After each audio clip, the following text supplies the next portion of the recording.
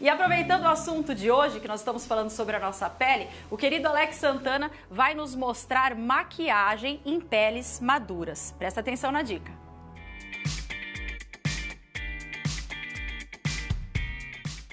Olá pessoal, eu sou Alex Santana e estou aqui hoje para fazer um programa incrível com vocês. Gente, vamos falar sobre maquiagem para pele madura. Eu amo de paixão e estou muito feliz por fazer esse programa hoje, por falar desse tipo de maquiagem. Por quê, gente? Só que cada detalhe desta maquiagem, cada diquinha pode fazer muita diferença. E normalmente as pessoas vão ficando mais com a pele mais madura e nós vamos perdendo algumas características, algumas coisas. E às vezes você também deixa um pouquinho de lado aquele cuidado que você tinha antes, mas cada cada vez mais você precisa dessa maquiagem. Muitos produtos desses, principalmente dos que estão no mercado hoje, só tem que ser adaptados. Alguns produtos virarão vilões dessa pele madura, que você não vai poder usar eles de forma alguma.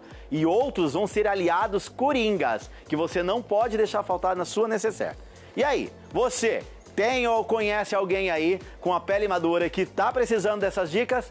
Vem comigo agora para a bancada que agora a gente vai colocar a mão na massa.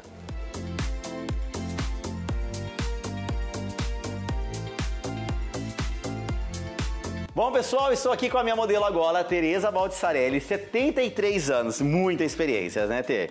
E alguma dessas marcas que a nossa pele carrega junto com a gente, gente, faz parte da nossa história, mas a gente não quer evidenciar ela de forma alguma.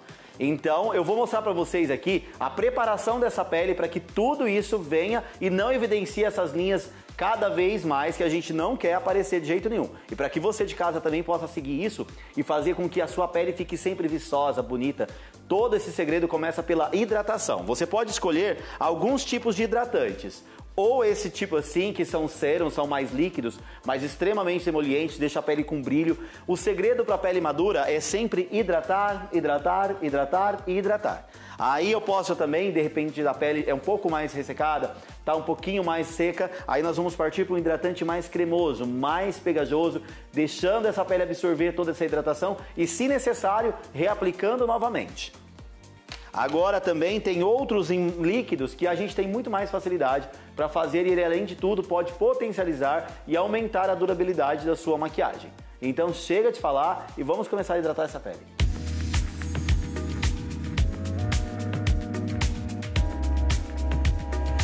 Bom, pele devidamente hidratada. Só para vocês terem uma ideia, na pele da Tereza eu reidratei hidratei e reidratei ela de novo até ela ficar com esse vício. Tá vendo que a pele já tem um certo vício? Eu preciso dessa hidratação. E essa hidratação a gente perde muito com os anos. E aí eu vou começar com alguns truques na hora da maquiagem. Nunca fuja completamente de bases com efeito mate, porque a base com efeito mate em peles maduras, ela vai garantir esse toque mais ressecado. Pó é seu inimigo mortal nessa hora, a não ser que seja pós extremamente micronizados.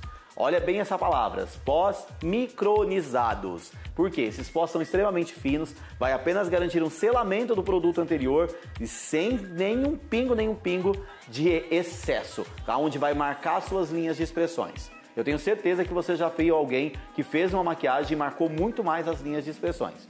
E agora, para dar continuidade, eu vou com a base. Vou usar três tons de base. Por quê? Tudo que é claro, médios e escuros, eu vou fazer de uma pele só, de uma vez só, para evitar excessos de produtos no rosto dela. Então, chega de falar e vamos ver como fica essa maquiagem.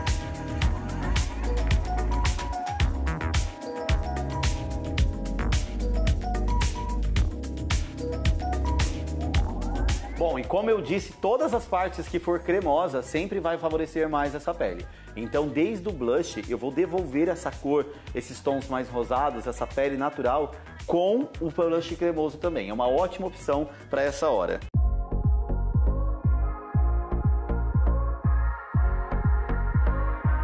Bom, gente, olha só, maquiagem, pele pronta, tudo mais, a gente já fez todas as valorizações.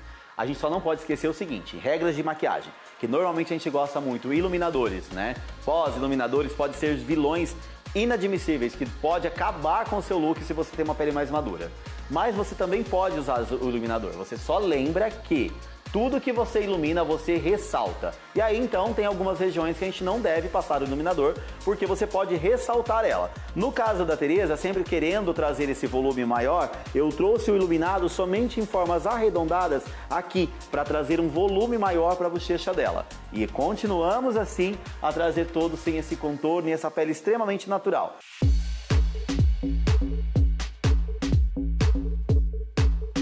Bom, gente, aí, mais um sprayzinho no cabelo e a maquiagem finalizada. Olha só como a gente valorizou o olhar da Tereza. E aí, Tereza, gostou? Amei. Olha isso, gente. E uma das coisas principais é que eu ensinei a Tereza a usar um batom mais forte para chamar a atenção. Então nós focamos aqui, no caso, mais na pele dela, trouxemos essa vivacidade para ela e principalmente, gente, olha como a gente conseguiu abrir esse olhar. Por quê? Nós voltamos com cílios também. Cílios é uma das coisas que a gente perde com, com o decorrer dos anos, a gente vai perdendo esses cílios. E aí, esses cílios a gente trabalhou com apenas com uma cantoneira para garantir essa naturalidade. Então não importa a idade, não importa o seu estilo, você tem sim que usar a maquiagem, pois ela é seu melhor aliado. Ela pode fazer com que você ganhe de novo essa confiança. Bom, Gostou dessa dica? Então é só seguir a gente aqui nas nossas redes sociais, que toda semana a gente traz uma novidade para vocês. Um beijo e até a próxima.